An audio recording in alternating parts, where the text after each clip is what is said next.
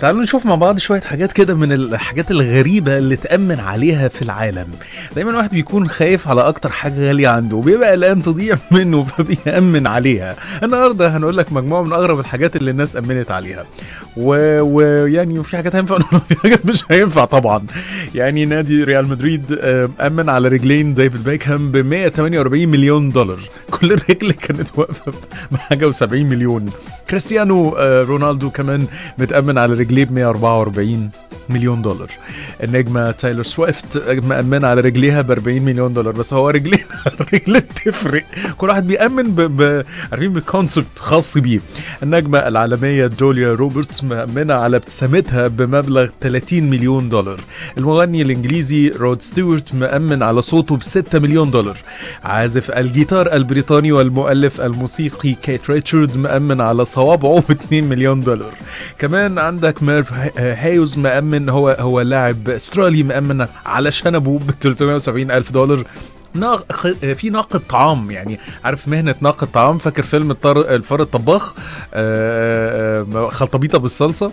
فكرة ناقد الطعام. ده ناقد طعام شهير في المجر أمن على لسانه وحاسة التذوق ب 393 ألف دولار.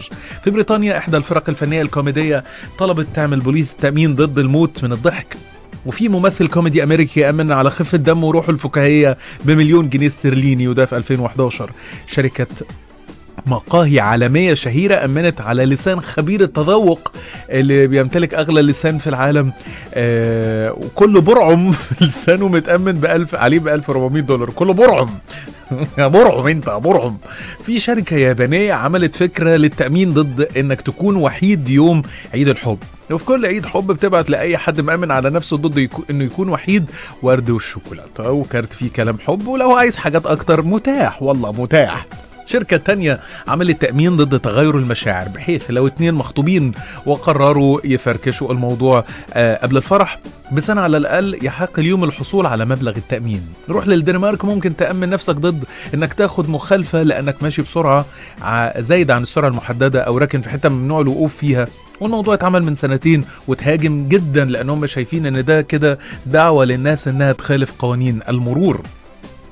الكلام ده موجود في مصر كمان. بيقال بيقال إن عبد الحليم حافظ كان مأمن على حنجرته ب ألف جنيه وبيقال إن الفنان إسماعيل ياسين قال في أحد حواراته إنه كان نفسه يأمن على بقه ب ألف جنيه. ومع أي شركة تأمين تقبل ده. الفنانة الراحلة تحية كاريوكا والفنانة الراحلة نعيم عاكف كانوا بيحلموا أيضا يأمنوا على الرجلين بمبلغ 50 ألف جنيه.